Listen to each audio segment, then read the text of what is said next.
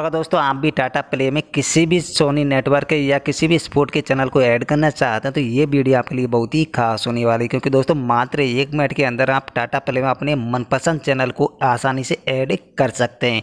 तो दोस्तों वीडियो बहुत ही इंटरेस्टिंग होने वाली सबसे पहले बताना चाहूँगा, अभी तक हमारे चैनल पर आप नहीं तो प्लीज़ चैनल को सब्सक्राइब ज़रूर कर लेना।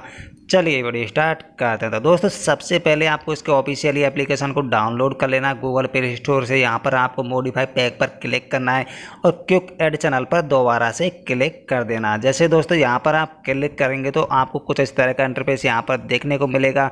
जो भी चैनल आप ऐड करना चाहते हैं, उसकी कैटेगरी बाई यहाँ पर आपको देखने को मिल जाती है। तो मैं यहाँ पर स्पोर्ट का करने वाला हूँ। स्पोर्ट पर जैसे ही क्लिक करूँगा, जितने भी यहाँ पर टाटा प्ले में स्पोर्ट के चैनल हैं, उनका यहाँ पर जो नाम दिया गया है, जो भी चैनल को आप ऐड करना चाहते हैं, उस चैनल को यहाँ पर आपको सेलेक्ट कर लेना है। तो दोस्तों, मैं यहाँ पर सोनी टेन थ्री चैनल जो HD वाला है, उसे ऐड करने वाला हूँ। तो दोस्तों, यहाँ पर जो बॉक्स दिया गया है, उसी बॉक्स पर हमें क्लिक कर देना है। यहाँ पर आप देख सकते हैं सोनी जो टेन थ्री जो चैनल है दोस्तों HD वाला, उसके आगे जो जो राइट साइड में एक बॉक्स दिया है, उस बॉक्स पर आपको क्लिक करना है। जैसे दोस्तों, यहाँ पर हम क्लिक करेंगे, जो नीचे की तरफ़ आप देख सकते हैं प्रोसेस बटन पर दोबारा से क्लिक कर देना है।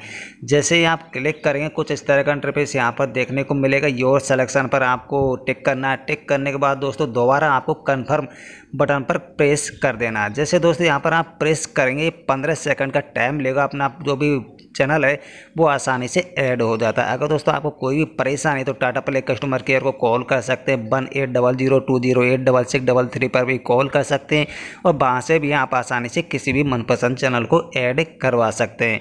या दोस्तों मुझे कमेंट करके ज़रूर बताएँ। अगर आपको कोई प्रॉब्लम है तो मैं भी आपकी पूरी हेल्प करूँगा। तो दोस्तों, वीडियो अच्छी लगी तो वीडियो को लाइक और चैनल पर पहली बार आए तो प्लीज़ चैनल को सब्सक्राइब ज़रूर कर लेना, जिससे आने वाली वीडियो की नोटिफिकेशन आपको मिल सके।